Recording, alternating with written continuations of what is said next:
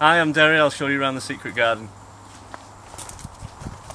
We've got the outside dining here for well up to eight people, and as it comes around here, we've got the barbecue area, outside sink, got the um, accessories here to have a hog roast and everything. Uh, comes around the fire pit and the swing chair to sit and chill out at night. Obviously the pod itself. Sleeps four, so we've got a double bed, sofa bed, ensuite bathroom in there.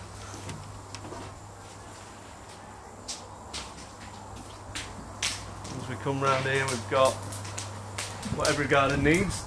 Two person sauna. So you can sit in there and chill out. And nothing would be uh, finished without having a nice hot tub sunk in the deck here.